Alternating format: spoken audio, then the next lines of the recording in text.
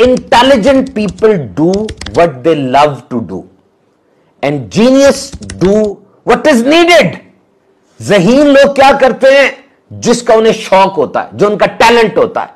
और फतीन जहीन तरीन आदमी क्या करते हैं? जिसकी ज़रूरत होती है, वो आप शौक को देख रहे हैं, हालात को भी तो देखें। तेल, गैस इंडस्ट्री केमिकल कहाँ जा रहा है ये सारा कुछ? एक बंदा मुझे मिला मोटरसाइकिल पे था। कहता, जी, मेरा ये शौक है, मैं किस तरीके से अपना शौक पूरा करूँ? मैंने कहा, पहले बताओ, अभी क्या कर रहे हैं? उसने बताया, मैंने कहा, पहले ये दो चार कोर्स करो, तुम्हारी तनख्वाह भी बढ़ जाएगी, प्रमोशन भी हो जाएगी, रेपुटेशन भी अच्छी हो जाएगी, जरा संभल जाओगे। अच्छा ठीक है वो शौक का बताए। मैंने कहा, भाई स्टेटस सही कर लो, शौक खुद ब खुद पूरे हो जाते हैं। कोई ज़रूरी नहीं है कि जो आपका टैलेंट है, वहीं से पैसे आपको मिले। यह भी कोई ज़रूरी नहीं है कि जो डिग्री आपकी है, उसी डिग्री की जॉब मिले। होना चाहिए। आपने वहीं सीवी डालनी है। कोशिश भी करनी है। बड़े अरसे तक ट्राई करनी है। ये जुमला ले लो मेरा। बहुत ज़्यादा खुश होता है वो आदमी जो अपने शौक के पैसे ले रहा हो। जो शौक है ना आपको, ऐसा बंदा ढूंढे जो आपके शौक के आपको माना पैसे देना शुरू कर दे।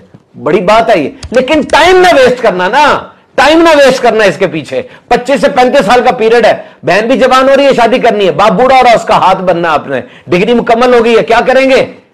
अगर ऐसी जॉब मिल रही है, जिस जॉब में पैसा भी है रिकॉग्निशन भी है प्रमोशन भी है लर्निंग भी है, आगे बढ़ने के मौके भी हैं तो करो। करने के बाद पहले डिग्री ली, अब फिर जॉब होगी, फिर एक्सपीरियंस आएगा, फिर किसी जगह पर पहुंचोगे ना, पहले ही लेट हो।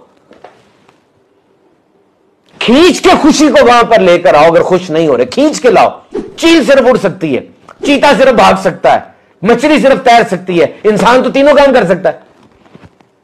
और आपने देखा नहीं, डॉक्टर का बच्चा डॉक्टर होता है, इंजीनियर के बच्चे को इंजीनियरिंग का शगफ और शौक होता है, फौजी का बच्चा फौजी होता है। इसका मतलब यह हुआ कि इंसान चेंज कर सकता है अपनी इंक्लिनेशन को, माहौल की वजह से ही बन रहा ना ये।